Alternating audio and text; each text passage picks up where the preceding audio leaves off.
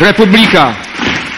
Zespół rockowy założony w 1980 roku przez Grzegorza Ciechowskiego.